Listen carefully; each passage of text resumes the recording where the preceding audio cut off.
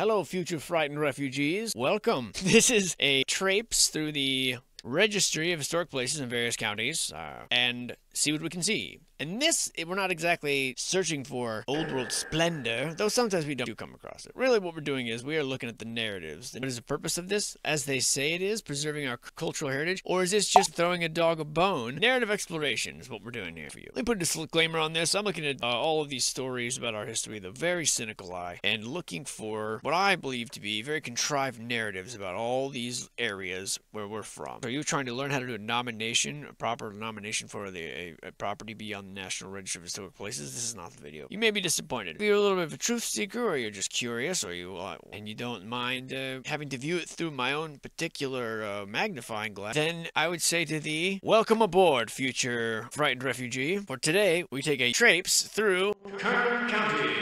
This is a county of vast size and vast treasure. From the advent of it told, 200,000 acres of swampland. That's how it got its humble start. But think of it now, the great oil wells flowing, the manifest riches and dreams that the pioneers indulged in, the cupidity and greed of clashes of strong, aggressive, resourceful men in the scramble to possess the bounties nature. Remember then that all these riches lying about with such apparent abandon were claimed and snatched up by penniless men who could squat on a piece of government land and somehow make a living from it. And on these reflections and appreciation of the pioneer's character, the resource that enables him, allegedly, to see in faith the things that may not be realized for generations. The lack of perspective that deceives him into reaching out his hand to grasp these things that are a century beyond his time. By God, it's almost alien, isn't it? We're told that the early, I mean pre-American, pre-Spanish occupation of the area, the territory was comprised of natives of a low order of intelligence, savages, leaving barely a trace of their existence except for some rude weapons, utensils, and then their bones, lying in shallow graves or strewn about on the hillsides where some pestilence no doubt had descended upon them. These Spaniards have established missions in the area in search of savage souls to save, crossing the mountains and carrying back with them numbers of the younger braves to the chapels, farms, and workshops where they were allowed to work.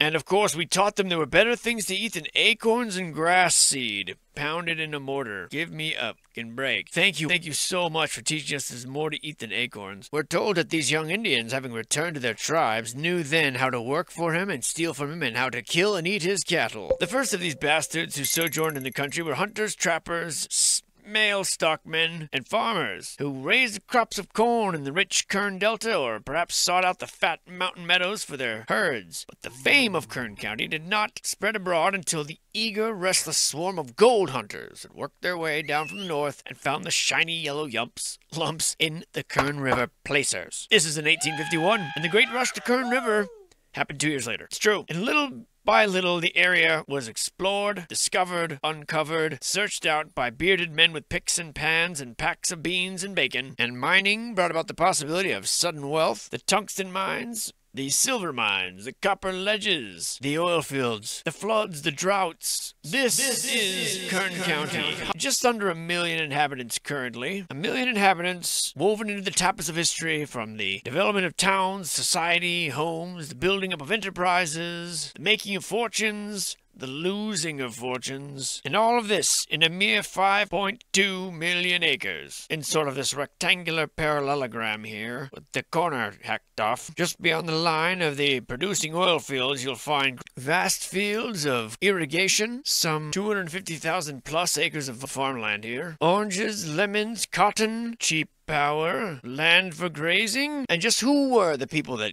came here and did a whole lot of moving and shaking and got their properties listed on the National Registry? Well, wouldn't you like to know? I know I would. Well, that's what I said once like a week or so ago, but now I kind of do know.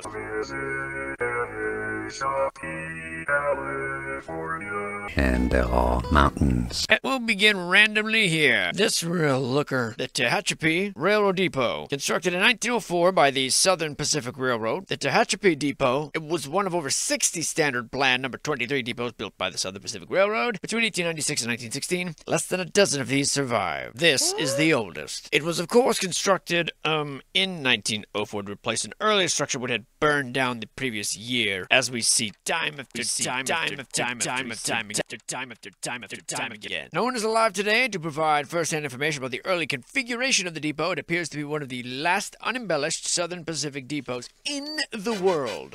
By the time the depot opened, 10 passenger trains stopped in Tehachapi each day. One of the busiest rural depots in the United States. Now, eventually, railroads withdrew from passenger service and concentrated on freight operation. The availability of automobiles and improved highways provided an excuse to abandon trains. So today, tens of thousands of visitors visit the area as they want to see this dump, which is now used as like a warehouse. But if it brought you trains, it's got to be important, right? Is what they call the fort. That's right. The present highway happens to run right through the original area of the fort. They just couldn't put it anywhere else. And actually, you may uh, notice some similarities here in the bastion walls, if you know what I'm saying. Which they called lovingly the barracks. There are strange holes in the ground that are swallowing live trees.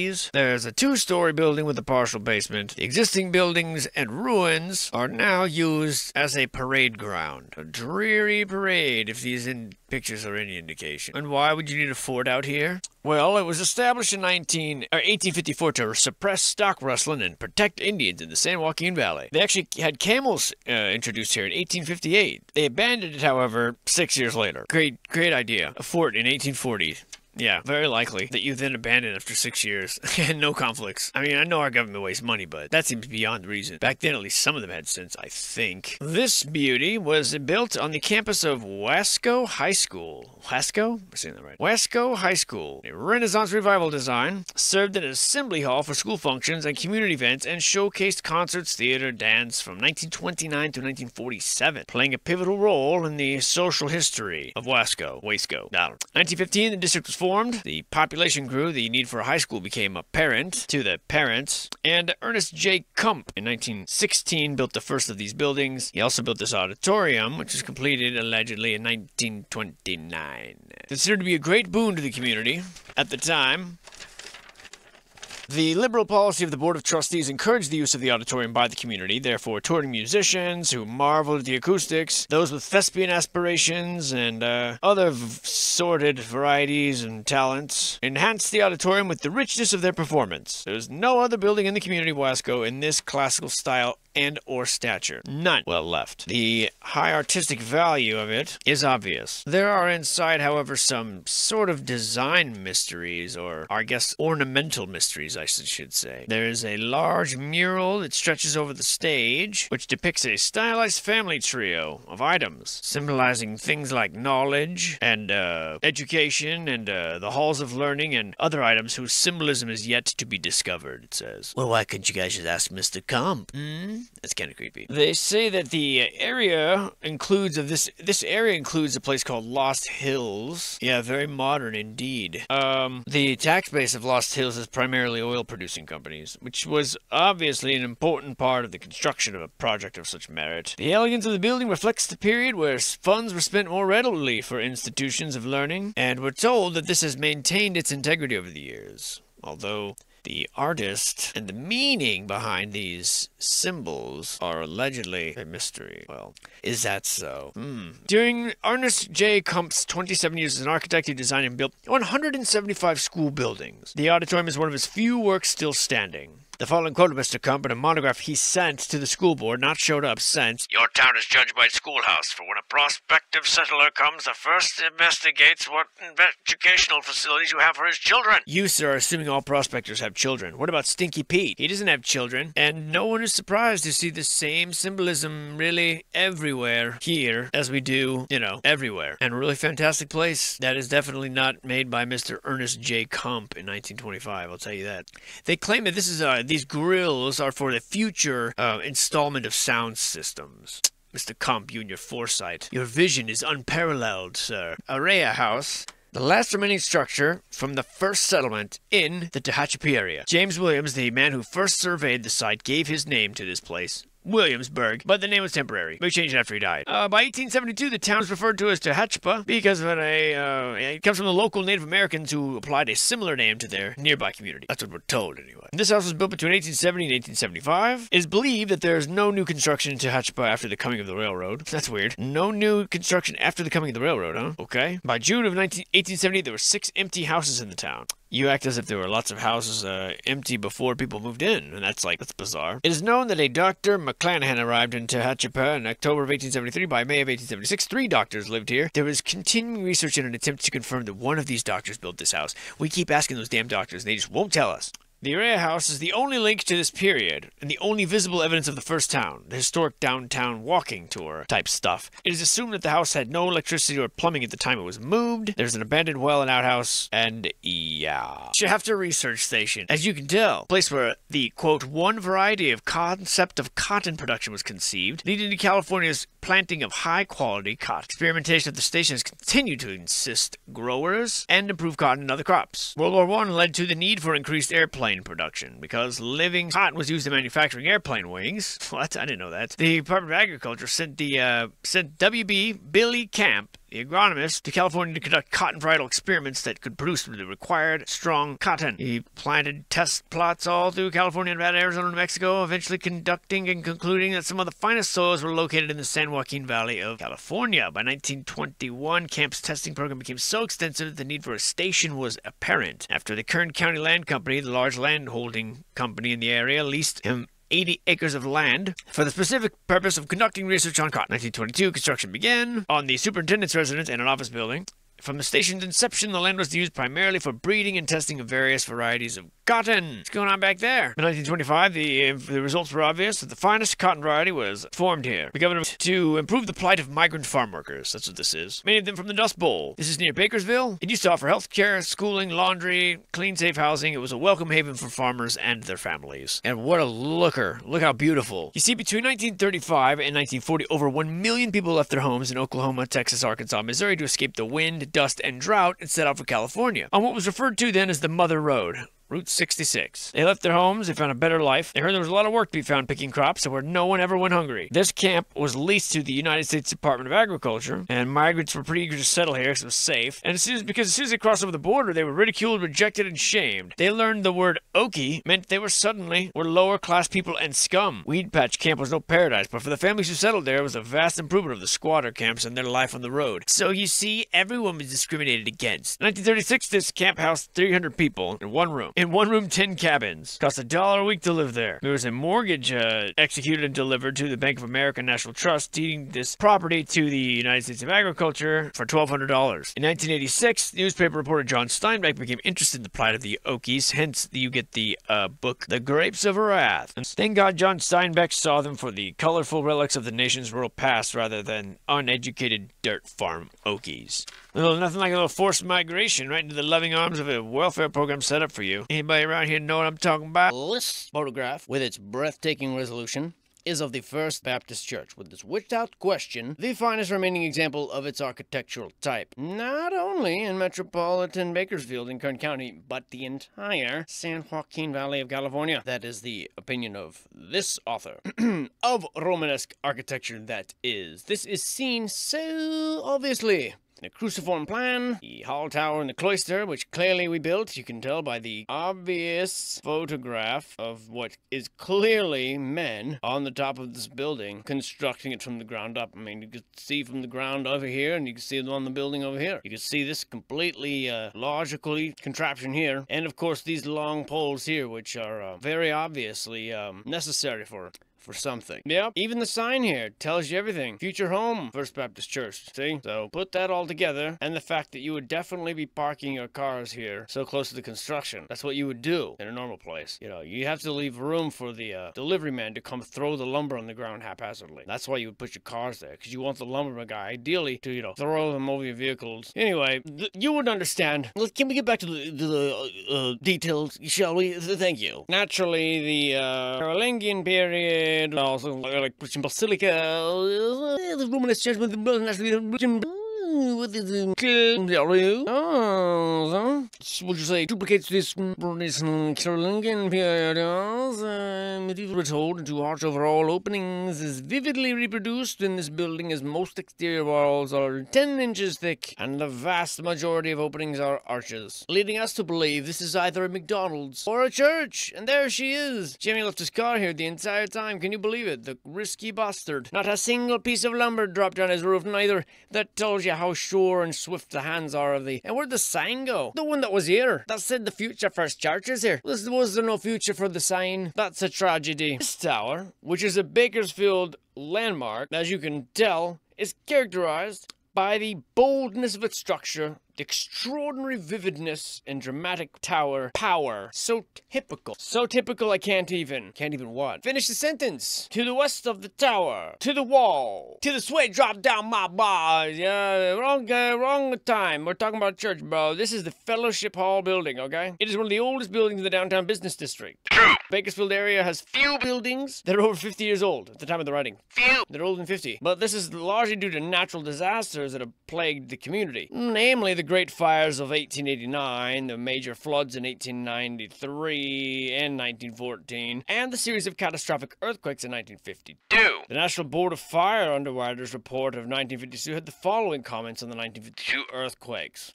296 structures, principally commercial and public buildings, in a 64 block central city area were considerably damaged. Building collapses were few, but after a few years' time, 90 buildings had been torn down. We say, why collapse them, but we're just going to tear them down anyways. So the collapses weren't actually due to the natural causes, they were due to us tearing them down within a year or so. Uh, also, 210 of them have been and or were, or and are, which means at the time, yes, but or were undergoing major structural repair, and decisions were pending on demolition. We hadn't signed the documents off on it, but you know, it was heading that way. Or repair, meh, not really. Of the remaining 96 for a total of 396. 300 buildings, they're gonna say were torn down, decided not to repair them, clearly. The reason to say there's no more buildings that are over 50 years old without throwing that anecdotal bit of evidence in there, if indeed the 96 were indeed opted to for repair. Does that make sense? Okay. Yet, the First Baptist Church was the only religious building in downtown Bakersville not to suffer any damage. What a superb testimonial to the design, engineers, builders,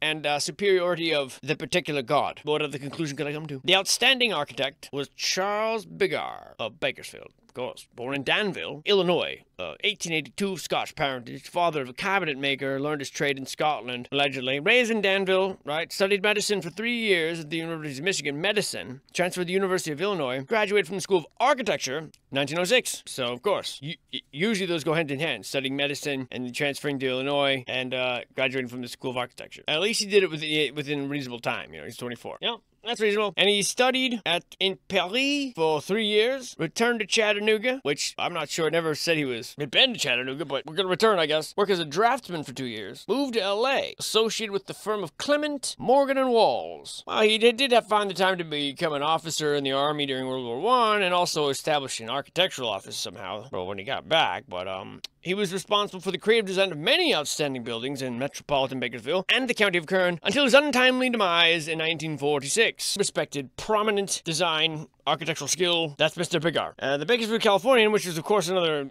newspaper, the building of which he designed for, had its issue carrying the cover picture and the story, which said the architectural majesty of the facade of this First Baptist Church and its perfectly cruciform design, floodlight at night with its Spanish arches, the noble bell tower, and the handsome landscape make this edifice one of the great showpieces of Bakersfield. We use this one church for it symbolizes the aspirations of mankind everywhere for a better, more meaningful life, and at which point he reached into his pocket and tossed a handful of glitter in the air, to the crowd's delight. And here's what she looks like today. Virtually unchanged, except for Jimmy's car definitely took a bit of a downgrade, wouldn't you see? I mean, if you're going from a Model T or whatever to a, a minivan, I'd say uh, that's a bit of a downgrade. Look how massive these doorways are. Totally necessary. Hey, that's what I think. Totally necessary.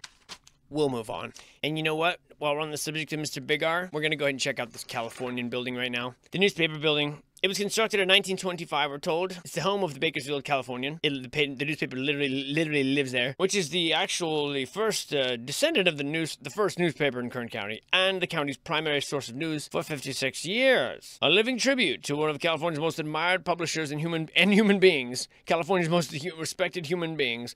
Alfred E. Harrell. And despite the ravages of time, two earthquakes, it still serves in its original capacity. Look at it, there it is. Still serving in its original capacity. The first influx of population came to what would later be called Kern County, as we've discussed in 1864, gathering on the small mountain town of Hav- Havilah, Havilah, perhaps, in search of gold. The first issue of this newspaper appeared August 18th, 1866, a mere two years later. Over the next six years, as the uh, mineral wealth of the area was depleted, the population shifted southward to the flat, swampy area, hardly known as Kern Island, and later to be called Bakerfield, when it was no longer an island, probably. When the newspaper became to uh, daily publication, the name was changed to the Daily Californian until 1897, in which a former Kern County Superintendent of Schools, Alfred Harrell, as aforementioned, purchased the paper. 1907, Mr. Hill gave the newspaper its present form, name, and under his guidance, it flourished. And in 1926, the enterprise moved into the present facilities at this one, this street and By Street in Bakerville. On the occasion, the, official, on the occasion of the official opening of the building, Mr. Hill received congratulations from many prominent people, including the President of the United States, Calvin Coolidge, for being one of California's most respected human beings. We, we assume, because he was. The building was then dedicated by Mr. Harrell to the service of the women of Kern County, which is very woke. And that's before woke was even a thing. So, Mr. Harrell, you're making real good on that Human of the Year thing. The best house, as it was called, the best house, in quotes, would provide restroom facilities. Well, a good house would, yes, I agree, including a full-time female attendant. Full-time, even when no one's there, to women visiting downtown Bakersfield. Still, there's a woman in there handing out men's probably, and um, maybe rubbing your shoulders while you, you know, utilize the stand-up urinal. At least that's what happens in the men's room. And if that's not what's happening to you guys, you're hanging out the wrong places, I think. Or maybe I am. Either way, something's not right. In any case, this particular female attendant was particularly appreciated at the time, according to Mr. Richard C. Bailey, former, uh, here up to this point, uh, unmentioned former Kern County Museum Director, because downtown business in those days did not have facilities for women. So to have facilities for women and to have a person inside of it handing out mints and feminine products, well, you just outdone yourself, didn't you, Mr. Newspaper Guy? The newspaper newspaper has chronicled the history of the county and the world with the exemplary ability that an award-winning organization should during the 40s and 50s when the leadership produced more than 60 state and national awards. Some of them for being specific achievements as the newspaper, others for being, you know, humans of the year and stuff. And, uh, you know, this paper, we're told, went to extraordinary measures to satisfy the local citizens' thirst for drama. I'm sorry.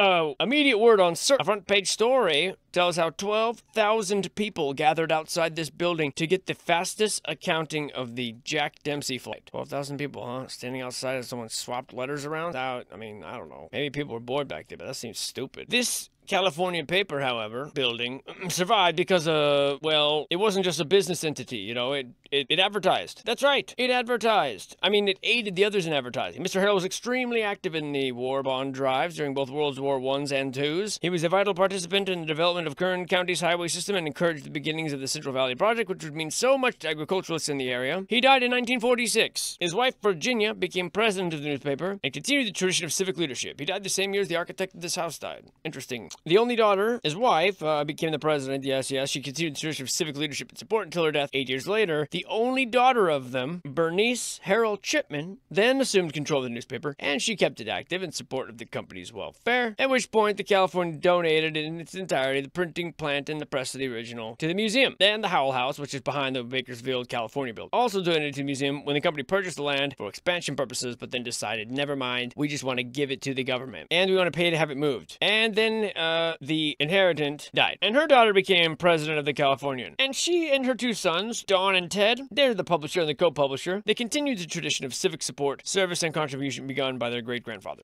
Kern County's history wouldn't be the same without Mr. Harrell, as he's earned a spot as one of the most influential and admired men. And we have uh, been told also, of course, uh, favorite human, human of the year, human, human of the decade, human of the century, human of the googolplex. And this man Harrell, who was he? Well, he was born in 1863 in Merced County, one of like three people probably. The son of a, at the time, the son of a California pioneer who came west during the 49er gold rush. Mr. Harrell came to Kern County at the age of 19 to teach school in Tehachapi, which we've already looked at. As the age of 23, he was elected Kern County Superintendent of Schools. Age 23, a teacher for three years, elected Kern County Superintendent of Schools. That's that's plausible. He was reelected during his second term, helped establish the county's first high school. At the age of 34, he purchased this newspaper. With no training of the newspaper work, either in the production or the business or anything like that, nothing about any institution, his ability to overcome inexperience was attested to by a selection as the 24th person named to the Newspaper Hall of Fame in 1969, which you know who that is, Mr. Harrell. All. His achievements as a human being were no less notable. He was acclaimed citizen number one by the local American Legion Post in 1934. He was a member of the California State Parks Commission. There is Alfred, Alfred Harrell Highway is named after him. He served on the Children's Shelter Board. He promoted camperships for underprivileged children and the PTA Milk Fund drives during the Depression. He was founder and first president of the Kern County Historical Society. The architect, Charles Biggar. They say the white marble drinking fountain located at the southeast corner of the property, by the way, requires comment. So comment away. Well, at least make your comment. If you're to make a comment about commenting, you might as well, you know. Oh, yes, those kind of columns. Very, very believable. Easy to do, not a problem. Do it all the time. Yep, there he is, Charles H. Biggar. He's from Texas, we're told, where everything is, you know. And uh, here we are at the drinking fountain of unmentionable comment. Well, um, we're told that Mr. Uh, J. M. Jameson was a resident of Kern County for 47 years. He was Kern County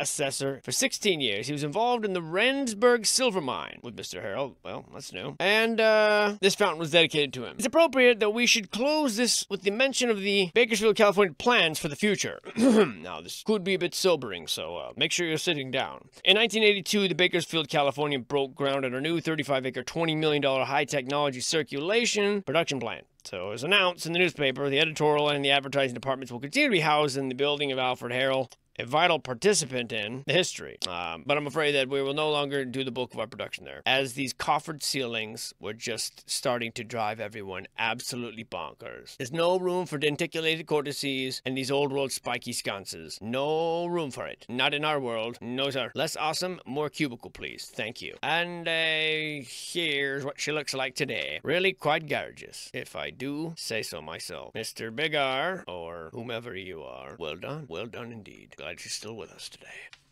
Now, admittedly, that story seemed rather wholesome. Um, you know, I'll let you decide. So this. This is the Green Hotel, he said in answer to his own question, which was constructed in 1913, just in time as the uh, entire uh, Grand Derby or whatever it was, the Grand Prix showed up at the store. You know, the routes of Santa Fe and Southern Pacific Railroad tracks that we've discussed really determined where the location of the majority of the towns and cities in the San Joaquin Valley were located. And the city of Shafter here is no exception. So immediately after the track from Fresno to Bakersfield was completed, the Kern County Land Company constructed loading platform next to the new tracks. In 1912 and 1913, the 19 uh, the uh, Kern County Land Company surveyed its property in the Shafter area and advertised in newspapers that this fertile farmland was for sale. October 1913, the land company completed the Shafter Hotel on Central Avenue for the purpose of growing housing, providing housing for prospective property priors. Its opening was part of their sales campaign. The hotel served the local headquarters of the company from 1913 until 1918 during its land sales activities. Painted a dark forest green, it became known as the Green Hotel. Shafter Green Hotel was the first commercial building constructed in Shafter. In 1919, uh, Mr. Herndon Hitchcock purchased the Shafter Green Hotel and operated with his sister Marion until his death. And uh, the building then had several caretakers, and it is now, sadly, vacant. It came to be known as the Old Hitchcock Hotel during the period that it was owned by the Hitchcock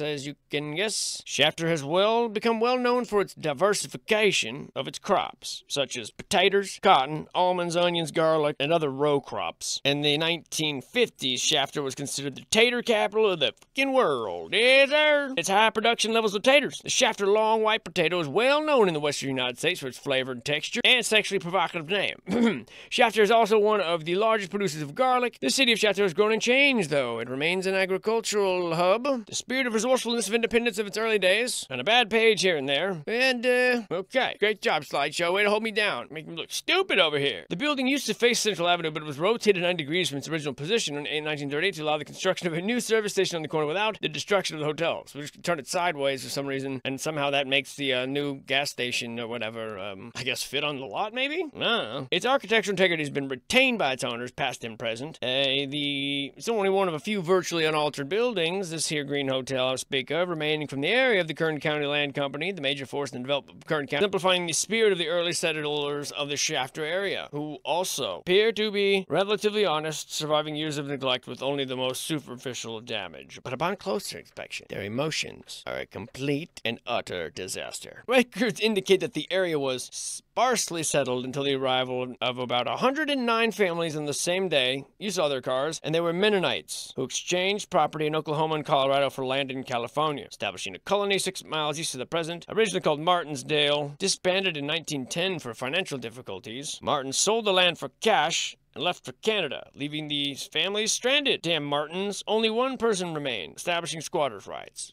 but many later returned to Shafter, which was named after uh, Henry J. Jastro, the head of the Kern County Lands Company's friend, General William Rufus Shafter, who was born in Kalamazoo County, Michigan in 1835, worked on his father's farm, taught school, joined the Union Army as a volunteer with the Michigan Infantry to fight in the Civil War, rose through the ranks as the war continued, entered the Army as a lieutenant general in 1867, acquired the name Pecos Bill for his exploits as an Indian fighter, and at the outbreak of the Spanish-American War, he was appointed commanding general of the Army and responsible for mobilizing the army of the invasion of Cuba. He among those serving under his command were future President Teddy Roosevelt and John Pershing. General Shafter, this town's namesake, served as the commander of the Department of California and Columbia from 1899 to 1901. And he became familiar with San Joaquin Valley and apparently maybe this here light fixture as well. He died in 1906 and was buried with full military honors at the Presidio in San Francisco. Therefore, Mr. Herndon Hitchcock was the owner of this place for a while. He spent his youth in the town of his birth, which was Armona, California, arriving in Shafter to manage King Lumber Company. And uh, during that time, he established the Shafter Warehouse Company, which was the second business in Shafter. He served on the first Richland School Board, was Shafter's second postmaster, founding member of the Shafter Utility Board, executive director and president of the Kern County Count Chamber of Commerce, and many other organizations and associations. Was the manager of everything. Well, I'll golly, Bob Howdy. And this here hotel, not really looking so glorious, but you know, it's a relic of the past, which is what this is all about. This isn't about glory. This is about narrative. How did we get here? Who's responsible for all of it? This National Registry of Historic Places isn't about preserving shit. It's about preserving the narrative, okay? You take these stories that we've spun for you and you like them. And it is here that I must interject, because it's here that something began to dawn on me. Now, as you can tell, the change of tone as I'm flying through this. This was a month or two ago, I think I recorded the first part you just heard. And as usual, I'm a little dis disenchanted with what I'm finding. So let me just recap what the point of this particular series was. And I apologize if, if you've heard this before, but every now and then I find it necessary to refresh the mission statement. Now, I started going through the surveys, the Historical American Building surveys of the states, for several reasons. One, it hadn't been done that I could find. Two, I thought it was, my initial theory going into it was that the United States had gone and taken stock of all these old world possessions, all these buildings and all these, in order to sort of keep an inventory and see what narratives still they needed to crush, what things they still needed to destroy, just to keep stock of what was out there. And that's why I believe that there were photographs of odd things like doorknobs, fireplaces galore, foundations, doorways, random things that you would think wouldn't necessarily be your go-to target in a survey. This was my theory going into it. And as usual, what I found is not what I set out to find. It's not that I didn't find that, and there's some of that, but what I, we found, by we I mean me, myself, and you all, in this collective journey we're on, this Council of Tomorrow, and what instead we find is that these surveys are, of, are vastly different from state to state. They each have their own approach. Um, Many of them are just photographical. Many of them are not. California in particular, very focused on narrative to the point where they have insanely long write-ups for very rustic properties. And they seem to be very selective. They select one home per neighborhood or town and elevate this as if it represented the rest of the town under the guise of preserving our heritage and they would give them the, presumably give them the permission to destroy the rest of it. Sort of throwing us a little bone there. And oftentimes I find that there's so much depth in these write ups, sometimes very candid from some of these unwitting surveyors, and sometimes little snippets sneak through there. And what we've come to determine is that there's a hydra, there's sort of this octopus, a system that has descended upon these areas. These arms of this octopus are institutional. What we come to determine is that this power, this nexus of control, which from which this narrative spins out of is sort of a hydra, sort of an, an octopus with various arms. And the arms are as follows the banking industry, the civic or political governmental section, the military faction, the educational faction, the medical or pharmaceutical faction. And then you have your industries, mining, agriculture, transportation. When that, that will encompass various fossil fuels, various productions for food and goods. You have the religious, or the church, I should say, faction. And within these, and you also have these uh, these fraternal orders, YMCA's, these Freemasons. That's sort of a visible power structure. These institutions were not infiltrated. My firm belief, they were designed this way. Uh, I forgot. I, I, did leave out one. The insurance uh, industry. These industries, these institutions were not in the media, of course.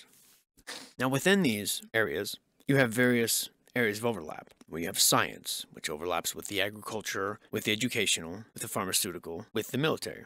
You have the insurance, which touches area various efforts of commercial side and also the banking side. You have the church, you have the educational system and the governmental system, which is things like public libraries, museums. These are their areas of overlap. And this Hydra descends upon these areas, commandeers the finest buildings, and converts them to their use, and it spreads out from there. These surveys are more or less simply highlighting these same institutions and buildings in every town, with very with with with few exception. They go to impossible lengths sometimes, detailing construction of certain things. The stories seldom make sense, and they often feature local celebrities who dabble in all these fields. Architects who are everywhere at once, and the ever present fire. Fire destroying what needs to be destroyed, and also providing the narrative that which you can hide behind and claim that you built these things. You built these cities because the fires destroyed it. You remember. Series of devastating fires, you read all about them. You saw the pictures. What you're looking at here on the screen is just Bakersfield earthquake in 1952. This is some of the aftermath of it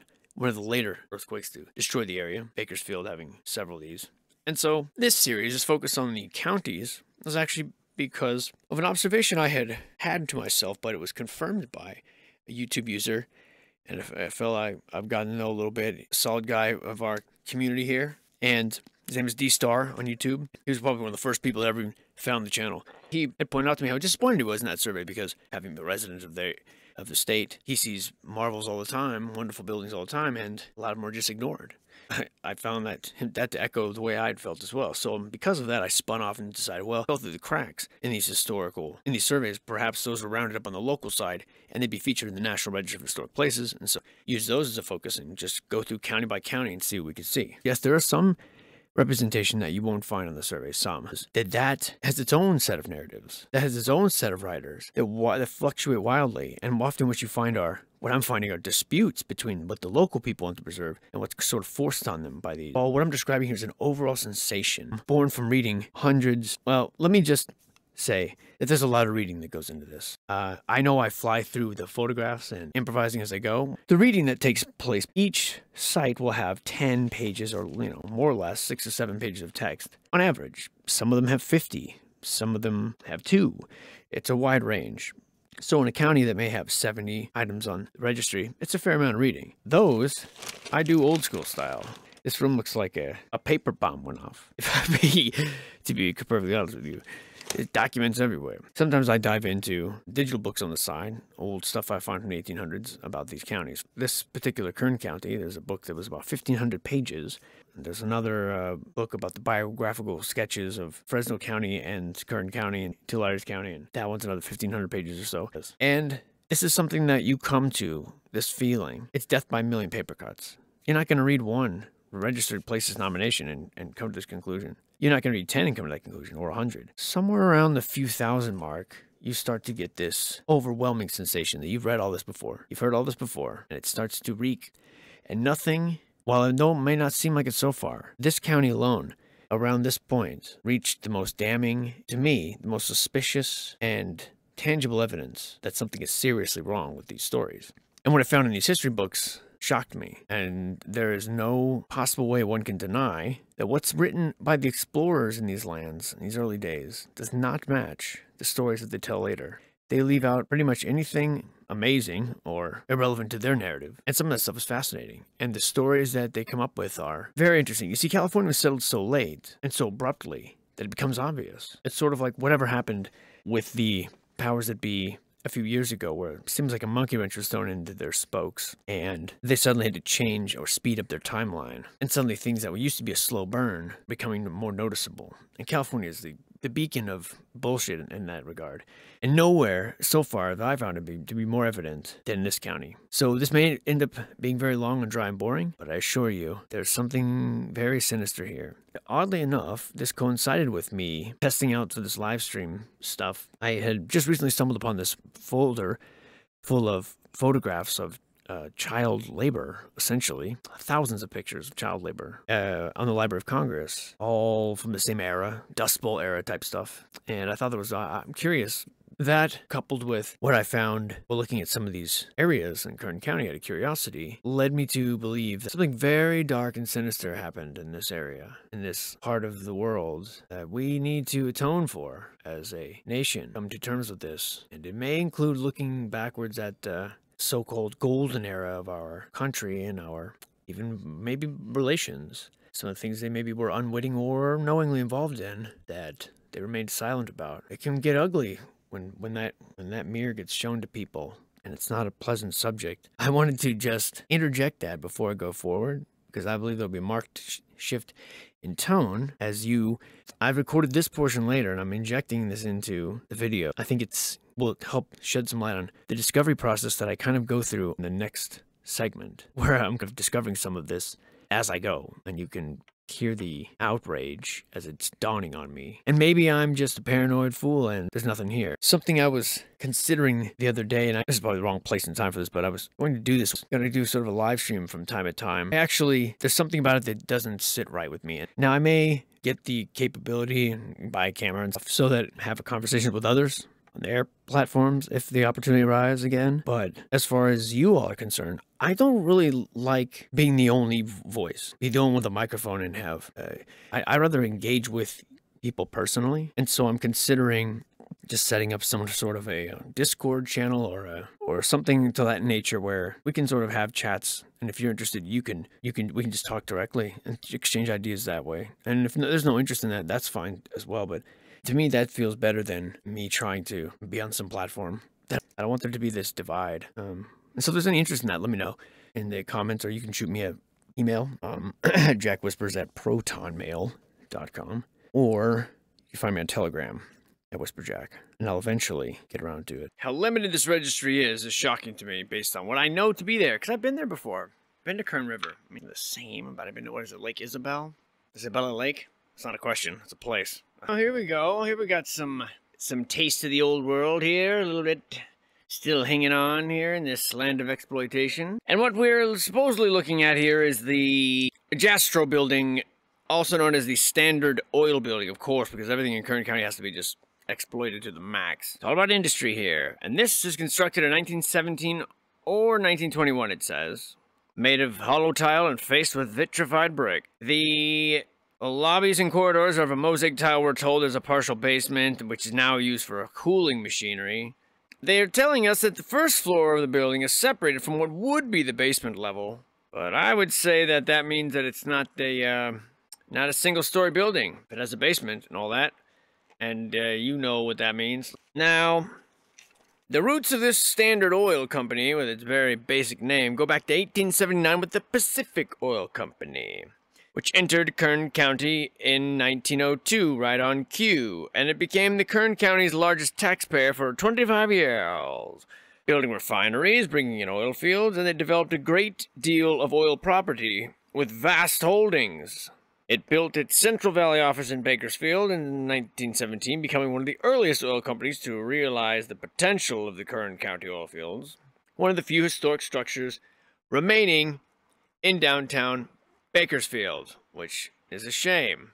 You can see it still hiding back there, despite its old age apparent by this old car. It was incorporated under the laws of the state of California February 19th, 1879, and for reasons unknown, reincorporated September 10th of that same year. Uh, it was Pacific Oil Company was purchased by Standard Oil Company, which is out of New Jersey, and here it comes bursting in the doorway with an 8-inch pipeline from Kern River and Coalinga fields all the way to the Richmond refinery, which is the most important pipeline in California. Now, prior to this time, dry farming and cattle raising have been the major industries of this here Baker. But not no more. There's a new sheriff in town, and boy, is he oily. Now, what's confusing about this building is that it says it was named for Henry Jastro, the original owner, whose heirs subsequently sold it to Standard Oil, which I don't understand because they claim it was built in 1917, and and the heirs of the man who was the original owner sold it, so the man died and had heirs who ended up selling the property all within the same year of it being built. That seems silly. And then it says here the original building was constructed at a cost of $110,000 by the same architect as so only a keen eye can discern the older building from the addition. Only the keen eye that you, no doubt, don't possess and the government does. Only they can tell. You don't have the eyes for it. Since Standard Oil vacated the building in the mid 60s, a mere 40 years after its uh, destruction and restruction and destruction and reconstruction, it's unique here. It's one of the last remaining buildings of the second Renaissance revival architecture in the Bakersfield area. I love that second Renaissance. Very, very fitting and telling. Match that of its neighbor to the east, the completely unrelated, just happened to mention in the survey, Kern County Land Company building. Completely unrelated, nothing to see here. You don't worry about what kind of a conflict of interest you'll have, or you'll get a real conflict on your hands, alright, buddy? So you mind your own. Go back to playing or your board games or whatever you do on your spare time, you fucking nerd. Hold on. And so, yet again, another slice of the history of the area that really doesn't have anything to do with the people. It's just uh, the oil. It's all about the oil in the industry here, folks. It's not about you, or me, or history, or integrity. Just oil. Get it through your thick Gulliver. Now, here we've got a place called the Carnegie Library. Dun, dun, dun, dun, dun, dun. Oh, wait, I wasn't done. Here's still the Jastro building, and really it is a handsome specimen. Not looking unlike many other things we've seen from this era, no doubt. Now, what would a narrative in California be without some good old Western timey stuff, you know, to sell you on the idea that this here is the Wild Wild West, these untamed parts, there weren't nothing here. And if you saw some, I'm here to tell you that you didn't. And uh, one of the celebrated sites on this one of the celebrated sites on this registry is the Walker Pass, which is interesting from a narrative point of view, but not from a building or point of view. As you can clearly see, the Walker Pass sort of fails to impress in this particular picture that they've chosen. But basically, what it comes down to is you've got this gentleman named Joseph Walker, who you may have heard of, and he is the hardiest and most hailest and handsomest of fellers, who with his men, part of the Bonneville expedition, entered California by crossing the Sierra Nevada next to the Yosemite Valley in 1833. And they claim the Native Americans showed them the way, and his exit from California is significant as the first known instance of a Euro-American passage through Walker Pass, the knowledge of which enabled the military and the commercial bastards to use it in later years. And this man Walker used it repeatedly throughout his life. Led the Joseph B. Chiles immigrant party safely into the San Joaquin Valley, and they made they brought wagons in. Of course, they'd abandoned them at Owens Lake before reaching the pass, but still, the Chiles Party is the first American immigrant wagon train to reach the Sierra Nevada, the first to cross Walker Pass, and the very first overland immigrant parties to reach interior California. Except for, of course, the Native Americans who already lived there and showed them the pass. Would imply that they would actually be the first overland immigrant party. Uh, I'm not sure why we're dehumanizing them. But nonetheless, that's what Mr. Walker was all about. And this is actually like a 40 page document. And really, it's his autobiography about all the times he went everywhere across the United States and how he didn't keep much of a journal. But when he did, he lost it in the river. He was active and long lived for a trapper, trader, and guide, but uh, it's because of him that he, you know, we have allegedly to thank the consolidation and expansion of the base of geographic knowledge available to us at the time. So he's a unique, significant figure in American history if he existed. However, we have to remember this is very ultimately detrimental to Native American peoples. Although he fought with them, he allegedly married into and lived with and defended the Shoshone tribe for many years, but he still was um, involved in many violent confrontations with them, and what to make of all that. But of course, you gotta have the Wild Wild West. You gotta have a story for everything. And this here's Walker Pass.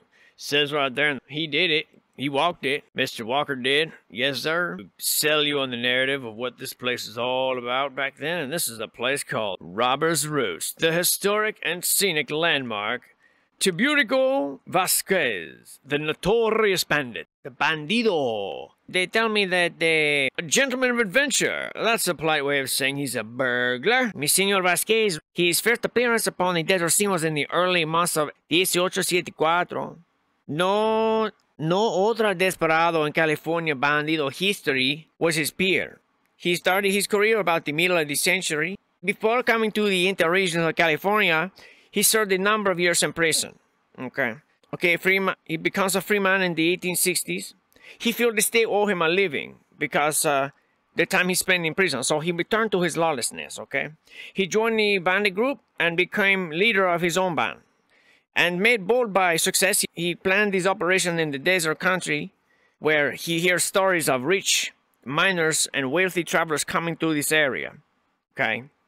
Now, in this vicinity of Cerro Gordo in Inyo County is the goal of the gang. They plan to secure the loot by money, take the money and jewels, and easier to get away with that than the heavy gold. He made the first appearance at Coyote Holes, which is a stage station where the Walker Pass meet the road to Los Angeles and he keep a camp here in this craggy peak here. From this day, from that day, this rock seen from Highway 14 is become known as Robber's Roost, okay? So his gang of bandidos continue to operate along the highways until army come from in Camp Independence to make an effort to capture them. This discouraged him, and he left the region and returned to uh, Los Angeles. Uh, eventually, he finally captured and returned to San Jose. He's tried for murder, which I didn't know even know he did till this moment. He was convicted and then they hang him on March 19th, 1975, which is actually today, is the celebration of that very day. He make an enemy of one of his gang because he finds favor with the man's wife. And that's what happened. At least that's what the story told me. So anytime you see this uh, craggy rocky with these crevices and caves and all the protection that it perhaps offered, know that this idiot bandit hang out here because he wanted to be seen from every direction and so that's why they catch him probably so easy. That's the story anyways. Can I sit down now? Well, thanks, uh, thanks Rodolfo, you've been great. And what would the Wild Wild West be without a railroad depot? This one's in my favorite named city of all time, maybe. Shafter. Shafter? I hardly know her, am I right? Yeah, you can boo that one. This is an excellent example of the standard combination frame depot, says the paper, not me, because I don't know what that means. It was designed by Santa Fe engineers in February of 1911. I'll tell you what it means. The word combination means it used for freight, passengers, and express service. This train carries everything. Um, it was, it was constructed by Santa Fe employees in 1917. Shafter, then but a mere colony, had been the center of farming activity. The center. The colony then was the newest in Kern County, had been prosperous in its few years of existence, and the coming of a railroad encouraged new growth, and so we've heard time and time and time again. In fact, after a 10-year period of growth, the office portion was expanded to accommodate influx of commerce. The building was finally abandoned in 1978. Again, another 60 years, 70 years later, the Santa Fe Railroad declared the depot surplus property, and in December it was turned over to Shafter Historical Society with the stipulation that it must be removed from railroad property or be destroyed. And there's another stipulation that $900,000 liability insurance be taken out to cover the workers removing the building. Very odd thing to include. At the time, the Shafter Historical Society consisted of a small but determined group of citizens who felt that the depot had great potential as a historic building. So after a period of eight months, they were able to raise $20,000 and arranged to move the building to donated property three blocks down the rail, which foiled the plans of the state. The Historical Society contacted the Kern County Museum regarding the proper removal, and in 1980 they removed it and relocated it where it will serve as a home for people who go to the museum, which is no one. No one goes to museums anymore. And so there, in your face, the Historical Society wins one. That's, by my count, that's one to about a million. But still, it's one. We're on the board, baby. We're on the board. What weird orders. You must destroy it and take out a million dollar insurance policy. There she goes, crying again. Shafter Depot. Here we have the Tevis block, which looks like this today. A fine specimen. But back then it looked more like... And what we're looking at is a block. Well, what you're looking at, the, the majority of the Tevis block is actually the Kern County Land Company. Sounds very benevolent, doesn't it? Designed by the very prominent architect Henry Schulze. And Kern County Land Company was the center for much of the land development in Kern County because the company owned hundreds of thousands of acres of land in the area. Interesting. One of the last early buildings in the downtown Bakersfield which retains its architectural architectural integrity, except for the I'm sorry, the oil building across the street. It's an imposing two-story structure, imported brick walls, the last vestige of the corporation that was so important in the development of one of California's richest counties. One of the wealthiest counties, right? The, the rising tide, man, lifted every ship This landmark in Bakersville has been a landmark since its construction in 1893, the oldest commercial building in downtown Bakersville to have survived earthquakes and remodeling efforts. More importantly, remodeling efforts. Most of the buildings that survived the 1952 earthquakes have been remodeled. However, the Kern County Land Company building has not suffered that plight. We needed something to wave around as our heritage, after all. Owners have taken a careful approach. Yeah, yeah, yeah. So here's the history. James Ben Ali Haggin and his brother-in-law, Lloyd Tevis, both successful lawyers from San Francisco, incorporated Kern County Land Company with 400,000 and 500,000 acres of land with Kern River water rights and canals and ditches as its assets. Okay, hold on. How exactly does one simply incorporate Kern County Land Company with a million acres of land and Kern and water rights to the river with canals and ditches that are obviously already there as your assets. How does that work? Only a successful San Francisco lawyer could figure out how to be so shady. Haggin, Tevis, and an earlier partner, W.B. Carr, realized very early the importance of water and irrigation, you think, for uh, cattle raising and farming in the San Joaquin Valley. But as they drained more and more water from the river, an intense rivalry developed with the partnership of Henry Miller and Charles Lux. They filed lawsuits. After seven years of bitter litigation, a settlement was reached. Haggin and Tevis got 75% of water rights. Two years after the settlement, in 1890, Kern County Canal and Water Company was formed, which in later years became a part of Kern County Land Company's water division. So benign. Look away, a boring title for this boring company. For 50 years, the primary operation of this land company was cattle raising. This was successful, and it was extensive, covered 2 million acres in California, Arizona, and New Mexico. Most of the hay, the grain, and the alfalfa used for feeding the cattle was grown also on Kern County land. Farming on Kern County Land Company fell into three different categories. I don't know why I'm stuck on this one picture. That was really whack. Orchard and vineyards, row crops, and land leasing. Over a hundred thousand acres were leased from the extreme end of the San Joaquin Valley, north of McFarland, while the rest was farmed by the county land company itself. The usual rent was 25% of the crops, if cotton, and somewhat less for other crops. So if the tenant farmer's crop failed, he didn't owe rent for that season. This system would allow the tenant farmer to use all his capital and credit on seed, equipment, fertilizer, and necessary labor to produce a large harvest without worry about losing his land. Kern County Land Company kept a staff of soil experts, agronomists, engineers, and irrigationists, which were made available to the tenant farmers, and the result was a large-scale farming done through the combination of big farm accessibility and small farm efficiency. Beginning in the 40s, row crop and orchard and vineyard farming received a, a boost from a very unlikely source, which was oil. Revenues received from oil grew, and more and more money was put into improvement and development of land for farming. Oil was not only given credit for boosting the economy, but also providing the land company with capital to develop row crop farming at a large scale. By 1936, oil and gas was the richest source of income for Kern County Land Company. At that time, Shell brought in an oil well in Kern County Land Company's 10 section field, which was the first in California to be discovered through the use of reflection seismography, which is a method utilizing explosives to show, quote, underground structures not visible above ground. Why wouldn't you put underground formations? Underground structures seems, you know, like they were constructed. I don't know what we're saying there. Are we are we giving up the ghost here? Soon oil royalties soon constituted 75% of Kern County, and the stock rose from $33 a share at its initial release to 450 share in 1938, and made one of the largest oil companies in the U.S. However, Kern did not limit itself to cattle raising, agriculture, and oil and gas. Of course not. It also had, of course, you know, water rights, irrigation, all that, but also manufactured ultralight microwave tubes and uh, Carjax oil filters, metal stampings, automobile tailpipes, and exhaust systems. Any way to fuck up your air, they'll do it. They also founded gas processors, which produce equipment for separating liquids from natural gas and drying them so as to have the ability to place them into pipelines economically, even at wells with small gas production. Now, hold on a second here. Henry Schulze is the architect that was well known in San Francisco. He's the one that made the Preston Castle that we looked at in Amador County, which we they swore was a, was a, not a prison for boys, and it, and, but it was more of a, a place for the you know juvenile hall, basically for them to make product, basically a form of slavery. Now, I wouldn't think too much of this actually this uh, Kernland County. But something happened the other day that now I'm starting to wonder exactly how skewed these histories are. And of course, I know most of it's a lie. But I don't mean that. I mean, I guess it never occurred to me how skewed they were. Lying, you're just making stuff up. All we hear about in this county is the richest county ever, and everyone rushed here and got gold, and how this this company owned so benevolent though they didn't they didn't charge much rent, they like you know provide all these tools for the farmers to succeed and all that. And I would have no reason, I guess, to challenge that. Except the other day, I happened to be these old world buildings here. What the hell's going on here? I'm just build all that. Cowboys building all that in between there, going alfalfa. Yeah, right.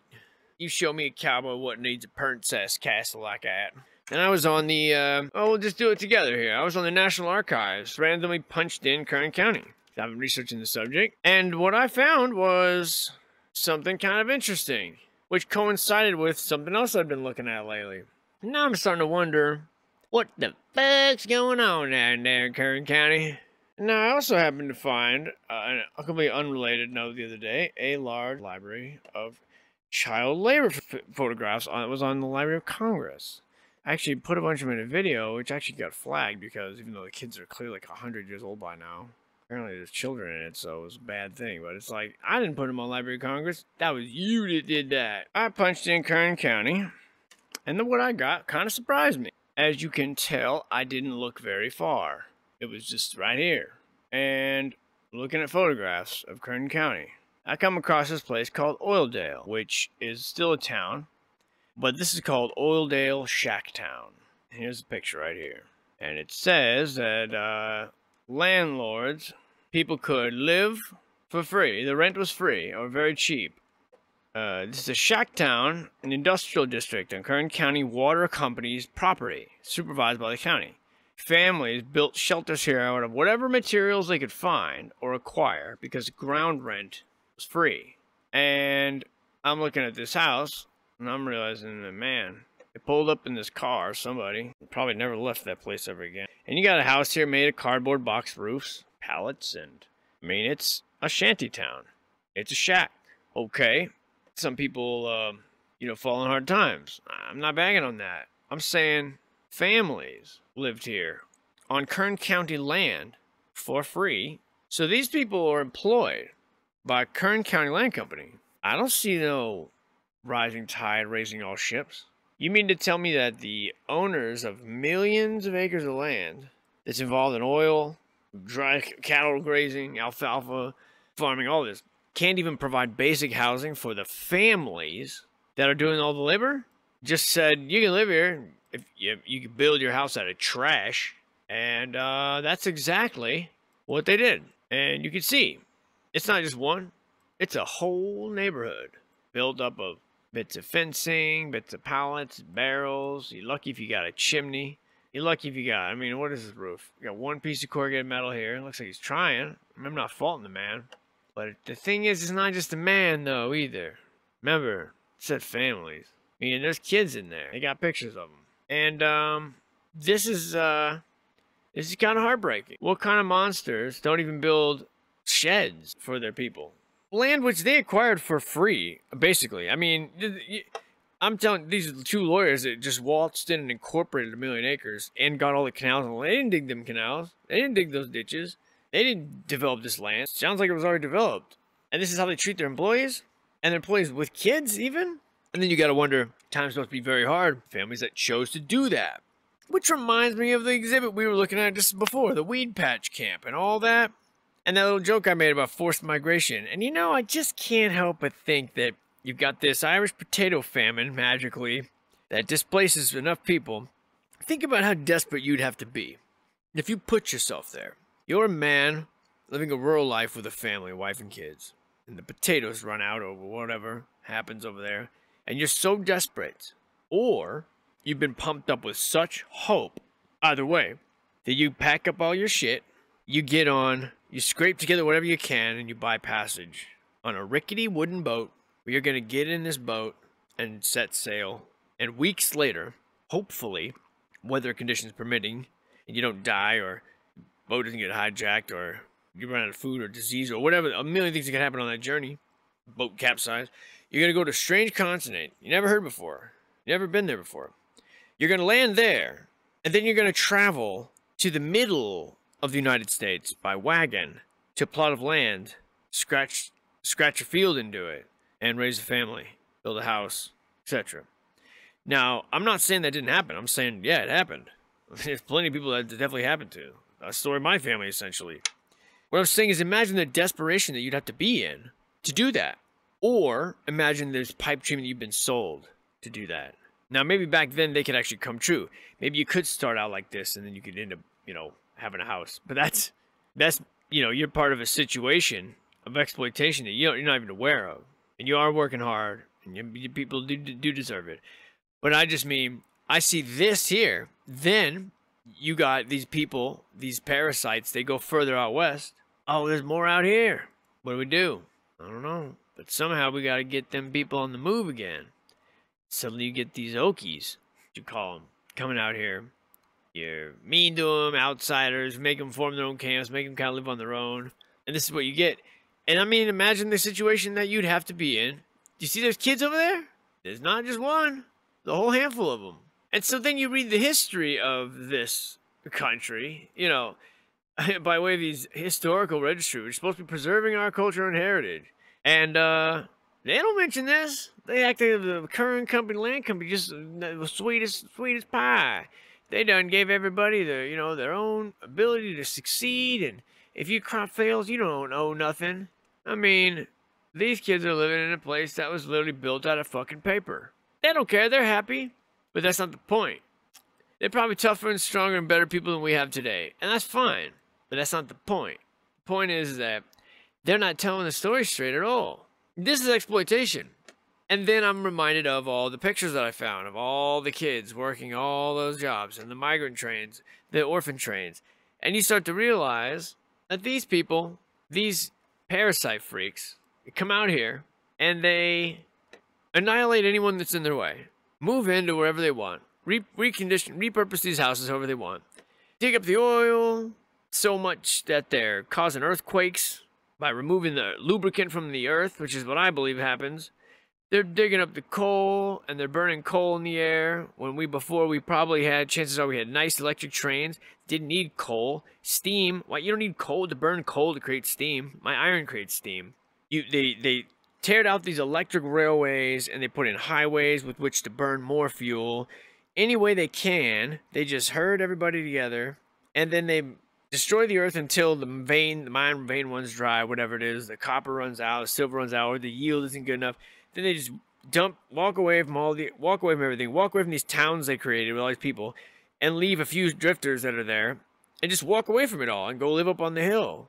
And then they, then they write their own histories, and they paint themselves out to be such great, and it's all a big club. Now, I'm not saying anything you may not know, but I just mean, is it ever been more evident than these pictures? Has it ever been more evident than with the stories that they're trying to tell? Which I didn't expect to find this here. I didn't expect to find any of this. I'm just looking at the damn buildings. And what I'm finding is this is a massive cover up. The whole reason this registry exists, it seems to be, is to cover this up. And so I actually went out. So I'm gonna hit the books hard on this because I want to know more about this. But we'll do um, I'll do real quick these last few here. There's a couple things that are mentioned on here that aren't really. There's no photographs on the registry, okay? Wait, this happens on all of them. Every uh, county has a few locations, especially if they're Native American. They don't give you the address, they don't give you pictures, they don't give you any information about it. But I managed to find a couple things. First one is the Last Chance Canyon, which is in El Paso Mountains. And I'm only doing this just to be thorough. And they claim that there's rock shelters and mills and quarries and stuff. There's a Burro Schmidt tunnel, which is a, a, mining tunnel. Apparently, some guy dug with hand tools for 38 years. A guy named Burro.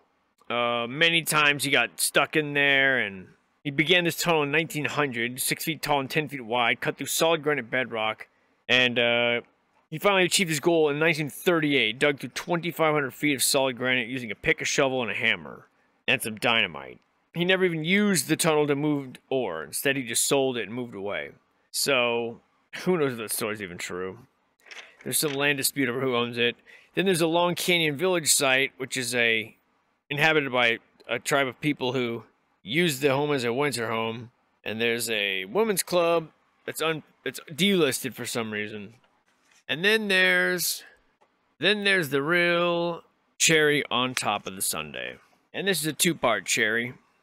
And it is a two part cherry of maximum fuckery. Though it won't seem like that at first. The first part is a little place called Rogers Dry Lake. You may have heard of it. There are no pictures on the registry, as if it couldn't be any more um, obvious that this uh, entire county is just the hotbed of lies. Of course, Rogers Dry Lake would be here. Of course, where the Dryden Flight Research Facility, which became profoundly impactful on the presence of the space technology and military security, which enabled NASA to be formed. The king, the chief lie, the mother of all lies. So, first in 1933, a small advance party comes from March Field and Riverside to design a bombing range for the Army Corps. They found the place to be ideal for, you know, flight, and four years later, the entire Corps was performing bombing and gunnery maneuvers here using P 38s and B 52s. And, and um, they had a realistic 650 foot replica of a Japanese heavy cruiser out here. They ran the test of the uh, XP 59A. Edwards Air Force Base became known as, and which morphed into NASA Flight Research Center, which morphed into the home of hypersonic research, and the Kennedy Space Center. Usually uses Lakebed Runway 23 as a landing strip. So this place made possible the successful development and testing of generations of American aircraft leading to the space shuttle. And of course, it would be here in Kern County where that begins.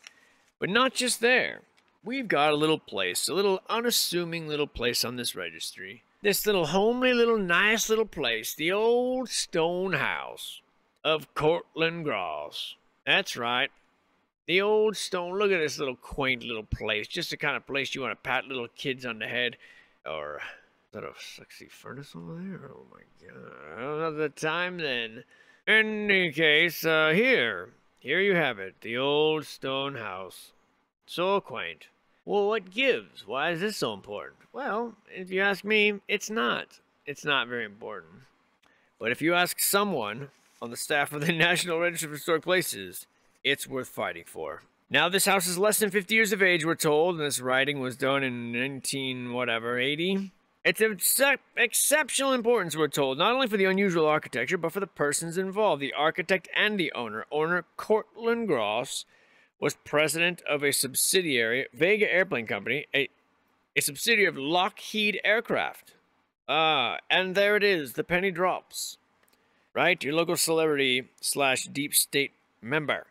He was president of Lockheed uh, by 1956, and he was chairman of the board for Lockheed, where he remained until his retirement in 1967. A long, storied history with Lockheed. Now, not only that, but this house is one of the few buildings designed by the important California architect Donald Parkinson, who's one of the one of his last commissions and the last residence. He didn't really design very many, and it's notable for its use of stone, which is unusual in California and in Donald Parkinson's repertoire. The this is an exception to the rule because the only houses he ever built, Mr. Parkinson, were Amelia Earhart and Paul Mantz, and this one. Now, this wasn't Courtlandt Gross's actual house. This is just a way he sort of got away. He actually had a palatial, we're told, a palatial mansion uh, somewhere near Fresno. Now, we're told that Donald Parkinson specialized in steel frame office and bank buildings, sky rises high.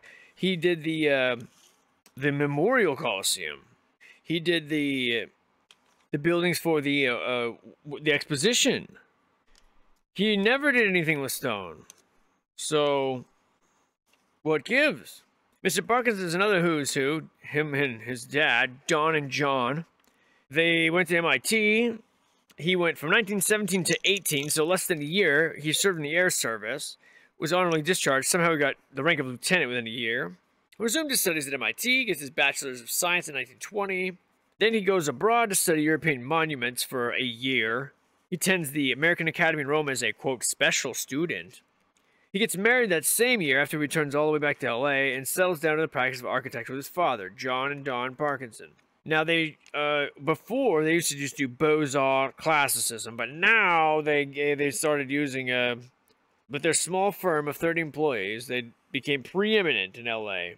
They did bank leaders, homes, business officials, municipal officers. That's what they're. They were just the uh, the elite's go-to architecture, allegedly. Now, Donald Parkinson was also appointed to the Municipal Arts Commission. He attended his first meeting as a commissioner in October 1927, was reappointed, and he served through the 20s. He was a member of the Earthquake Advisory Committee, but he never forgot his passion for flying, which he had never done yet, but still, he had a passion for it somehow. He was director of Bowlus sailplanes for some reason, and secretary and director of Paul Mantz Air Service for some reason. And um, his love of flying led him back to the armed service. So in 1942, he rejoins the army and he serves through the years involved in World War II. From 42 to 43, he was a major now in the Corps of Engineers, and then he retired after less than a year, when the, before the war was even over. I didn't even know that was possible. Well, this sport of flying would produce dividends for him because he succeeded in securing commissions for Courtlandt Gross. His close association with individuals who would play a significant role in the formation of an aerospace industry led him to designing their assembly plants and their General Motors assembly plant, and therefore this stone house. Unfortunately, Donald Parkinson suffered a heart attack at the age of 50 and died in 1945. He had a son, however, named Don Parkinson. So the John and Don show could potentially still go on. Courtlandt Gross, Courtlandt Sherrington Gross, was he graduated from Harvard in 1927 as an English major, English literature and began working in an investment banking firm with his brother Bob. Bob ventured into the aviation industry, taking a position with New Haven's Viking flying boat, which produced seaplanes. Then Bob and six of his associates bought the bankrupt Lockheed Company for $40,000. Cortland Gross was named manager of the New York office, where he spent seven years negotiating aircraft sales. Landed a contract with British Air for 200 bombers and $25 million, the largest single contract received by a U.S. aircraft manufacturer in the world. He was elected president, and yeah, yeah, yeah, we've been all through this. Now, that's where the story should end. That's where my foray into this rather mundane house on a rather mundane survey with these tell nothing pictures. That's how it should end. Here's the house now after it's been vandalized in the 80s in 78. Now we're told that the earthquake that took out Tehachapi did not uh, harm this house at all. It was one of the few houses that remained standing, despite its stone structure, and everyone was shocked, no doubt. But despite that, it was abandoned and stayed abandoned for 20 plus years. So that's a little funny. But here's where it just gets downright stupid. And maybe this is um not interesting to anyone. I mean, I don't know how it could be. I don't know how it could be interesting, but there was a challenge uh, within the National Registry of Historic Places to that property a challenge on the merits of. I see this very rarely. I've only seen this in California, a few places. Well, I guess I've only really looked in California, so. But the challenge was that this was not Mr. Gross's community. No one knew him there. He was not there at the home very often. If you know, very, very rarely used it. He wasn't uh, during the years where he was uh, famous and was a mover and shaker in the world. He didn't had nothing to do with the property. It wasn't 50 years old, so it wasn't very old. He was not a member of this community. And usually they don't honor people. There's a couple other criteria. So rather than just let that fall by the wayside and say, okay, someone really within this uh, inner circle really would needed to sell this narrative, is the only thing I can think of. I don't know why they would. Because they go to bat for this property and they go strong. And they don't do it in the way that you should do it, like as if as, as if as an architect would. They don't talk about the merits of the house as an architectural instruct. They don't go by this. They wax on like a New York Times fuck, like a New York Times fluff bag writer. It starts this this rebuttal to this challenge starts with the inner sanctum, the solitude of stone, and this is a poem by Ralph Waldo Emerson, or excerpt from it. One hour of thoughtful solitude may nerve the heart for days of conflict, girding up its armor to meet the most insidious foe. That's a poem by Percival. It is easy in the world to live after the world's opinion. It is easy in solitude to live after your own. But the great man is he who, in the midst of the crowd, keeps with perfect sweetness the independence of solitude. A poem by Ralph Waldo Emerson. This is how this starts out in this registry. Already, I just want to punch this person in the face. Reviewers of the petition for national registration of the Courtlandt Gross Stonehouse to Tehachapi, Kern County, expressed concern that Mr. and Mrs. Gross used the property and stone structure under consideration infrequently for weekend holidays. Evidence we've gathered thus far strongly supports the contention that the Tehachapi home built by Gross was conceived as an inner sanctum, a haven of solitude with extreme pressures and responsibilities associated with high level management were assuaged and mitigated. Seeking an environment which would support solitude, Mr. Gross desired to build a retreat where his inner strength would be renewed. In order to accomplish and realize this wish, Gross looked back in time to an earlier, less complicated period of his youth. You see, born in Boston, Massachusetts in 1904, Courtlandt Gross was raised with an intimate familiarity with the more enlightened examples of colonial architecture in the New England area. He was particularly drawn to the Pennsylvania Dutch and Massachusetts expressions of the colonial articulation. He refined his youthful appreciation for colonial architecture while a student at Harvard University you know, his English major, graduated in 1927. He completed his studies and had occasion to study and become familiar with the 18th century English and Dutch literary sources influencing colonial architecture in Pennsylvania Massachusetts. Fondly looking back on his uncomplicated life as a youth growing up in New England, Gross decided in the late 30s to build a retreat for himself and his family which would encompass those principles of life he so affectionately recalled. You, it goes on and on and on like this for 20 fucking pages. In the 30s, he he decided to look back at his uncomplicated life as a youth growing up in New England. He graduated in 1927 with an English major. So because he studied 18th century English, who were allegedly sources that influenced colonial architecture, he needed to build a stone house in Tehachapi. What are we doing here? This goes on and on and on about concern being expressed that the stone house was not occupied during the period that he achieved historical significance.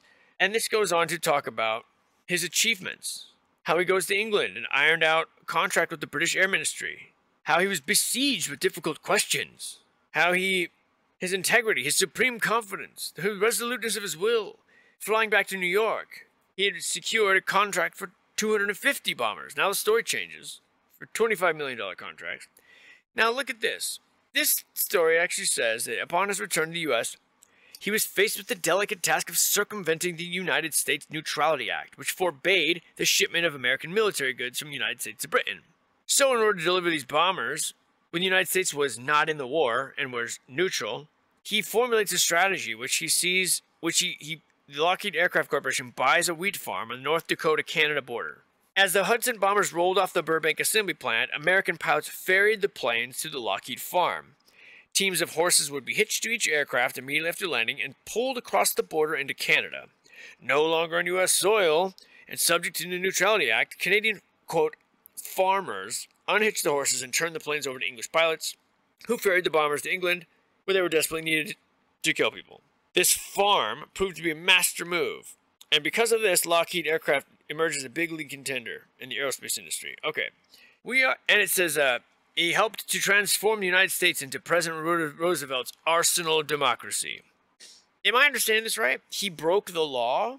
He broke the law. He violated the United States Neutrality Act by selling, manufacturing planes and dragging them off out into Canada. And we're admitting this and celebrating this? Three years before we entered the war? How is this not public knowledge? Why, why am I learning about it here in this strange registry? So by the time the United States declared war in 1941, Courtlandt Gross had already acquired four years of war production management skills. He'd already been in there. Does this sound familiar to what happens, what's going on today? It sure does. To Ma Ryan. Now this goes on and on and on, and I'm not going to read the whole damn thing. It's ridiculous. Because they're defending, the, the year in question was 1942 to 1950, which the original registry was arguing that that year he wasn't even around this house, it was not significant. For some reason, this article says, yes, he was, because there was an article, a cover story on him in, in Time magazine, February 11th, 1966, which brought the aviation magnate to the consciousness of the public. Since he took over the as presidency in 1961, and the Time article pointed out that Lockheed had received in 1976, how's that possible? 10 years, the Time article points out that in 10 years in the future, they received over 7% of all contracts. The article came out in 1966. So what, what's going on here? Not only that, they say that much of the credit for Lockheed's success belongs to him. He was president for 15 years. In the Pentagon, Robert McNamara looks up to him. he, you know, they're waxing on and on about this guy. About they're saying that he developed this gift during 29 years. He played second fiddle at Lockheed to his older brother. 29 years. Okay, that's the first bit that I don't understand. Then it goes into the John Parkinson and Don Parkinson, and it talks about how they emerged as leaders of designing structures that showcase the automobile, and that's their claim to fame. They built the very first automobile showroom. They built the very first, uh, with Bernard Maybeck, they built the very first uh, gas station. And they're credited with pushing this stuff on the American people. They also built the first department store building with a modern design catering to the phenomenon of automobile traffic with showroom windows designed to conceive and lure the motorist off the boulevard. And I just cannot help but feel like this is an integral part of the narrative.